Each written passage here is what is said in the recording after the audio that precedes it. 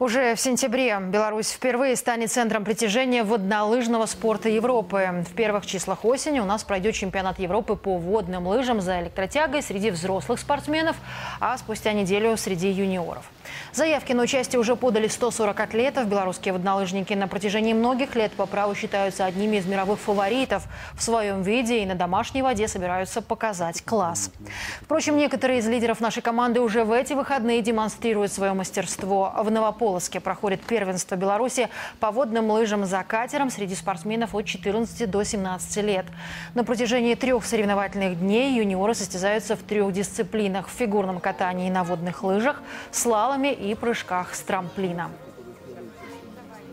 На этих соревнованиях решается двойная задача. Мы отбираем команду на первенство Европы до 17 до 14 лет и заодно просматриваем дальний резерв.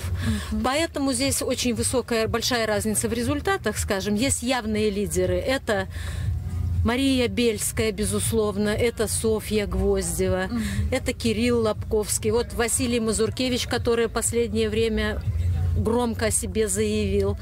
И есть совсем интересные малыши, которые стартуют вот первые буквально раз в жизни на соревнованиях.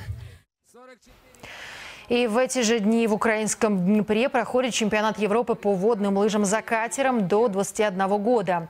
Предварительные заезды двух дисциплин прошли на рекордной волне. Список финалистов в фигурном катании у девушек с личным рекордом возглавила Алена Пархоменко из Минска.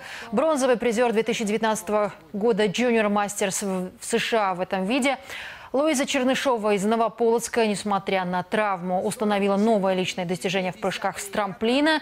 И уже известно, что бронзовым призером слалами стала минчанка Валерия Трубская. Соревнования в Украине продолжатся и завтра. Пожелаем нашей команде удачи.